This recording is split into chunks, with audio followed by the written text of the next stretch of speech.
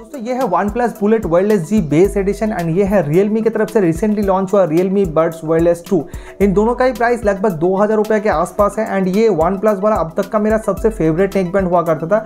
मैं हर किसी को यही वाला सजेस्ट करता था। बट रिसेंटली लॉन्च हुआ इस नेक बैंड में बहुत सारा नया फीचर्स दिया गया है एंड बहुत एक तगड़ा कॉम्पिटिशन बन गया है इन दोनों नेक बैंड के बारे में। एंड आप लोग बार बार मुझे कमेंट्स में पूछ रहे थे कि भाई इन दोनों में से सबसे बेस्ट कौन सा है? तो फाइनली आज की इस वीडियो में डिटेल में बात करेंगे इन दोनों नेक बैंड के बारे में बताएँगे आपको कि सबसे बेस्ट कौन सा इन दोनों में से? तो चलिए फटाफट से वीडियो को स्टार्ट करते आई होप कि वीडियो आप लोगों को अच्छा लगा। अगर वीडियो अच्छा लगे तो वीडियो को लाइक करना मत भूलेगा आज की वीडियो में लाइक का टारगेट रखते हैं फाइव हंड्रेड आई होप कि डेफिनेटली आप लोग ज़रूर पूरा कर देंगे। तो चलिए फटाफट से वीडियो को स्टार्ट करते हैं। मेरा नाम विधान आप देख रहे हैं बीन साइड लेट्स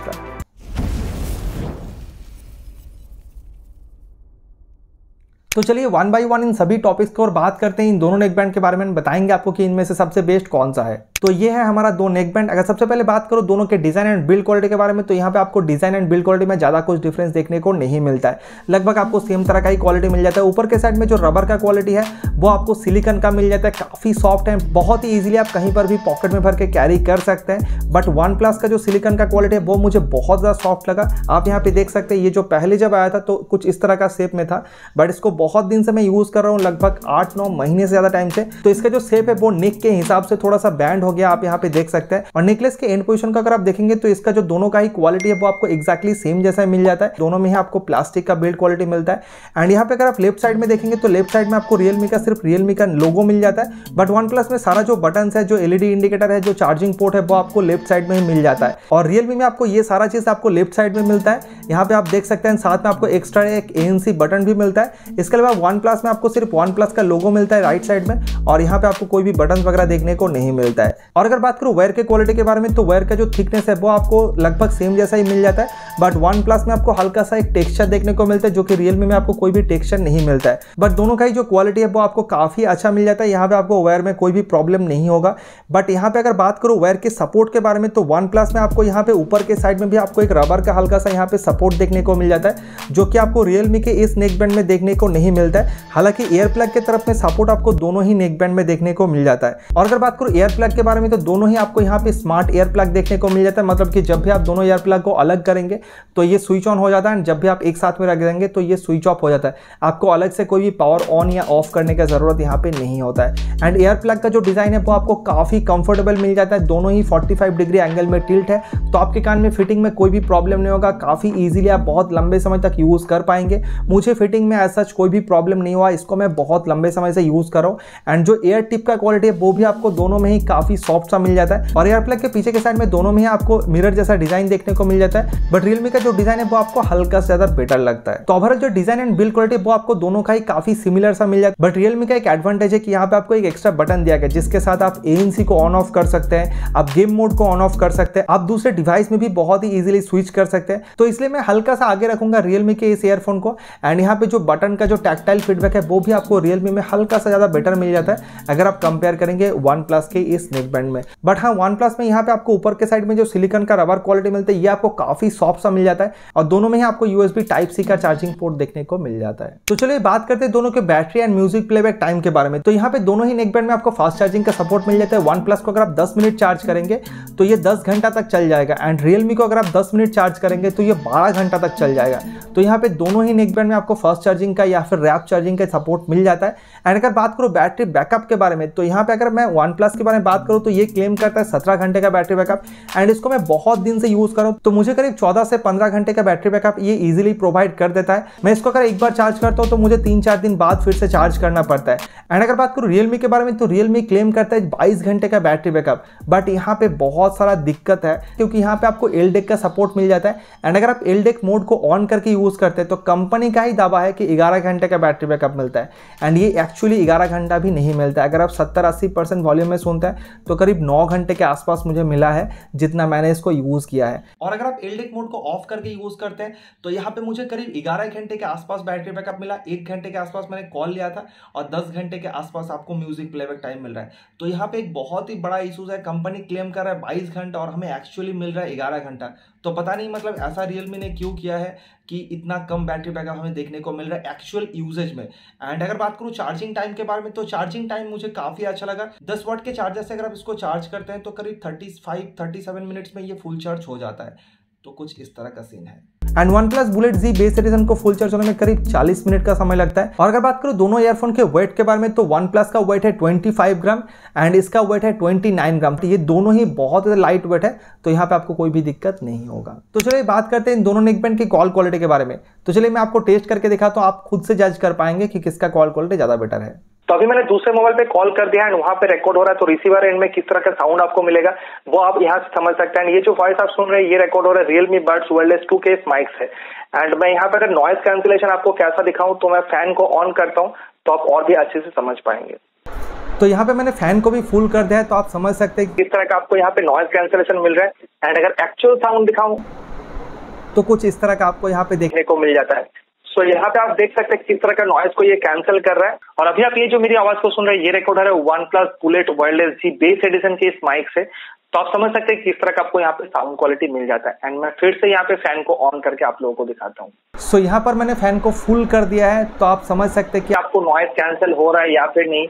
मैंने अभी तक इस क्लिप को नहीं सुना है। जब मैं एडिट करूँगा तब सुनूँगा। तो यहाँ पे नीचे मैं लिख दूँगा कि किसका मुझे ज़्यादा बेटर लगा तो वो आप वहाँ से पढ़ लीजिएगा। एंड आपको किसका ज़्यादा बेटर लगा वो आपकी ज़रूर कमेंट करके बताना मत भूलिए। और अगर बात करूँ कनेक्टिविटी के बारे में तो दोनों में ही आपको ब्लूटूथ वर्जन 5.0 का सपोर्ट देखने को मिल जाता है। एंड दोनों का ही कनेक्टिविटी काफ़ी अच्छा है। अगर आप 10 मीटर डिस्टेंस के अंदर यूज़ करते हैं तो आप काफ़ी इजीली कनेक्टेड रह सकते हैं। 10 मीटर से अगर आप बिना ऑब्स्टेकल यूज़ करें तो 10 मीटर से ज़्यादा डिस्टेंस से भी आप इसको यूज़ कर सकते हैं, जितना मैंने चेक किया है। एंड अगर बीच में एक आध ऑब्स्टेकल्स है, अगर आप दूसरे रूम में भी जाके यूज़ करते हैं तो वहाँ पर भी आप बहुत ही ईजिली कनेक्टेड रह सकते हैं। सो कनेक्टिविटी में मुझे यहाँ पे दोनों में ही कोई भी शिकायत नहीं है। बहुत ही अच्छा कनेक्टिविटी दोनों का ही देखने को मिल जाता है। और इन दोनों ही नेकबैंड को अगर आप रनिंग या फिर जिम पर्पस में यूज़ करना चाहते हो तो आप बिल्कुल यूज़ कर सकते हैं। इसमें आपको IP55 का रेटिंग मिलता है एंड इसमें आपको IPX5 का रेटिंग मिलता है। तो हल्का फुल्का वाटर एंड स्वेट्स आपको कोई भी चिंता करने की बात यहाँ पे नहीं है।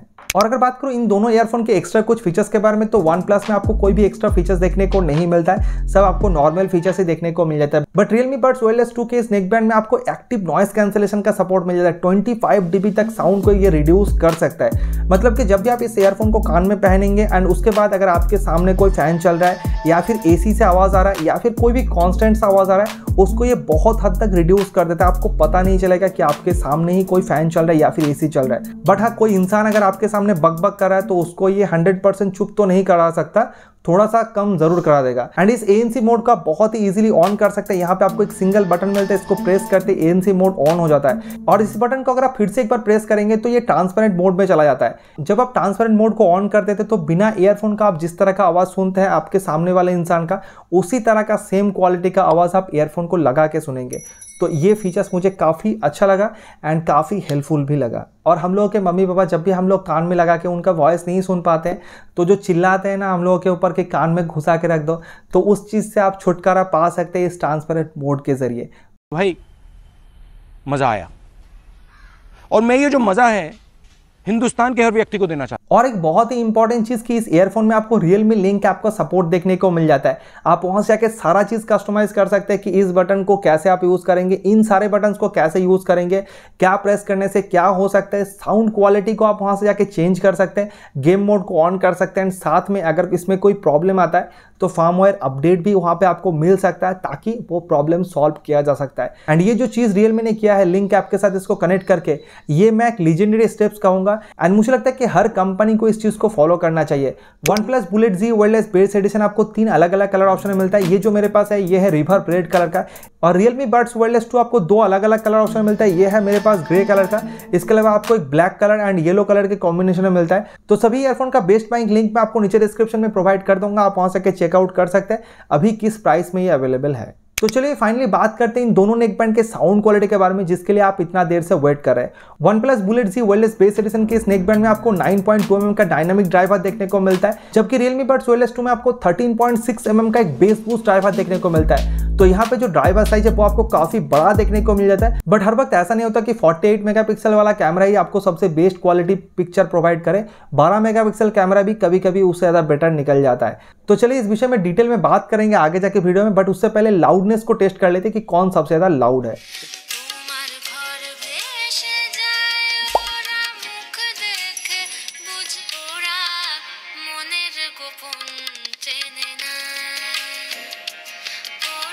तो अगर बात करूँ इन दोनों नेकबैंड के साउंड क्वालिटी के बारे में तो दोनों ही नेकबैंड का जो साउंड क्वालिटी है वो आपको बहुत ज़्यादा ज़बरदस्त देखने को मिल जाता है। आप इनमें से किसी के साथ भी जा सकते हैं आपको कोई भी प्रॉब्लम नहीं होगा। बट अगर बात करो डिफरेंस के बारे में तो रियलमी बर्ड्स वर्ल्ड टू में आपको यहाँ पे तीन अलग अलग मोड मिल जाता है रियलमी लिंक ऐप के अंदर। तो वहाँ पे आपको जो भी मोड्स पसंद है, उसके हिसाब से आप इस ईयरफोन को यूज़ कर सकते हैं। बट जो मेन मुझे डायनामिक मोड है, वो ही काफ़ी अच्छा लगा। बाकी जो दोनों मोड्स है, वो उतना यूजेबल मुझे नहीं लगा। तो डायनामिक मोड के हिसाब से अगर मैं बात करूँ तो यहाँ पे इसका जो बेस है, वो आपको बहुत अच्छा देखने को मिल जाता है। एंड साथ में आपको ट्रेबल्स एंड जो मिड्स है, वो भी आपको काफ़ी अच्छा देखने को मिल जाता है। बट वही पे अगर बात करूँ वन प्लस के इस ईयरफोन के बारे में तो इसमें आपको कोई भी ऐप सपोर्ट नहीं मिलता है तो आप इसको कस्टमाइज नहीं कर सकते। एंड वैसे तो इसका नाम है बेस एडिशन बट इसमें आपको बेस उतना पंची नहीं मिलता है।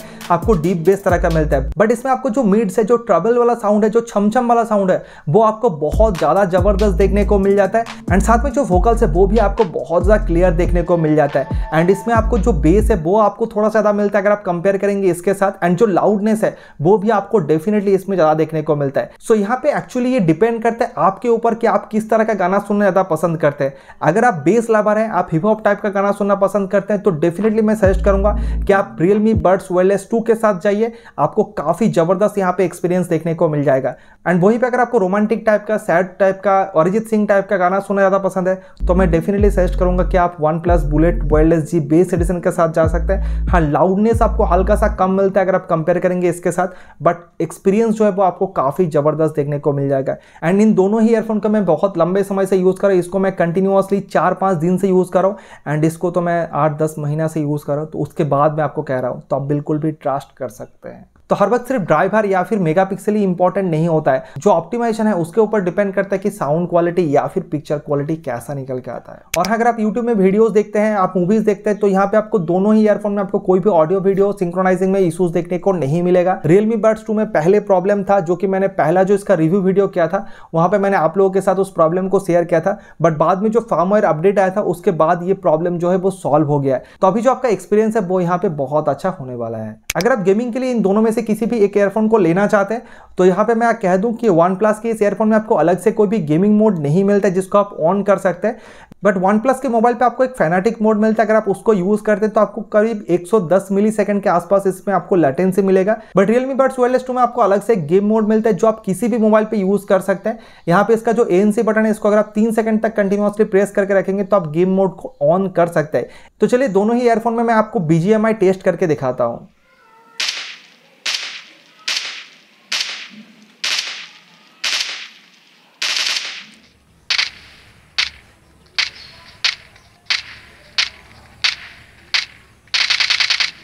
तो यहाँ पे आपने देखा कि वन प्लस के एयरफोन में आपको हल्का सा लेटेंसी देखने को मिल जाता है। अगर आप एक कैजुअल गेमर है तो आप डेफिनेटली इसके साथ खेल सकते हैं। आपको कोई भी दिक्कत नहीं होगा।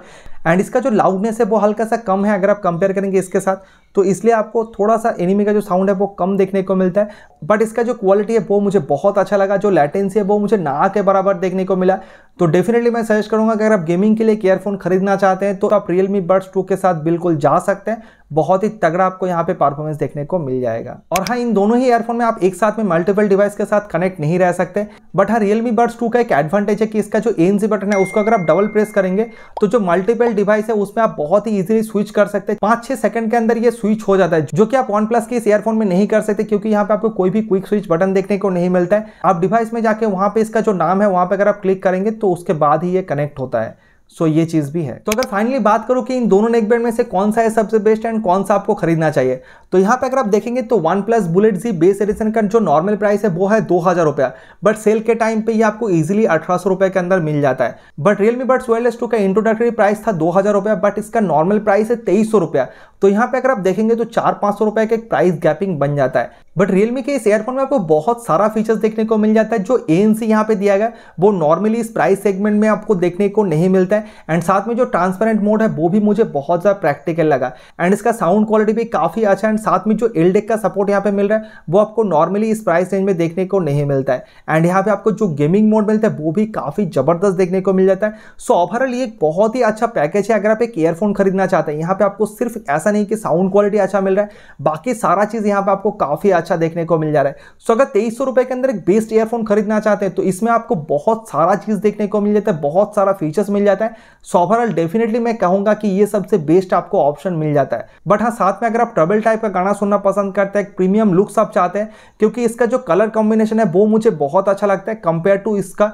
एंड जो बैटरी बैकअप है, वो भी आपको काफ़ी डिसेंट सा यहाँ पे मिल जाता है। सो so डेफिनेटली आप इसको परचेस कर सकते हैं। अगर आपका बजट दो हज़ार रुपये के अंदर है। सेल के टाइम पे इसका जो प्राइस रहता है अठारह सौ वो डेफिनेटली एक वैल्यू फॉर मनी है। एंड अगर फ्यूचर सेल में इसका प्राइस तेईस के जगह पे दो हज़ार रुपया होता है तो मैं डेफिनेटली सजेस्ट करूँगा कि इसको देखने का ज़रूरत नहीं है, आप रियलमी बर्ड्स वायरलेस टू को ही खरीद सकते हैं। तो आई होप कि वीडियो आप लोगों के लिए काफ़ी हेल्पफुल हुआ होगा। अगर वीडियो अच्छा लगा तो वीडियो को लाइक करने के साथ साथ चैनल को सब्सक्राइब करना भी मत भूलिएगा। मैं आप लोगों के लिए ऐसे ही डिटेल इन्फॉर्मेटिव वीडियोस लेके आता रहता हूँ। एंड अगर अभी भी आपके मन में कोई सवाल है तो आप कमेंट्स में पूछना मत भूलिएगा। मैं आपके कमेंट्स का रिप्लाई ज़रूर करूँगा। तो चलिए मिलते हैं नेक्स्ट वीडियो में। तब तक के लिए good bye thank you so much video देखने के लिए बहुत बहुत धन्यवाद।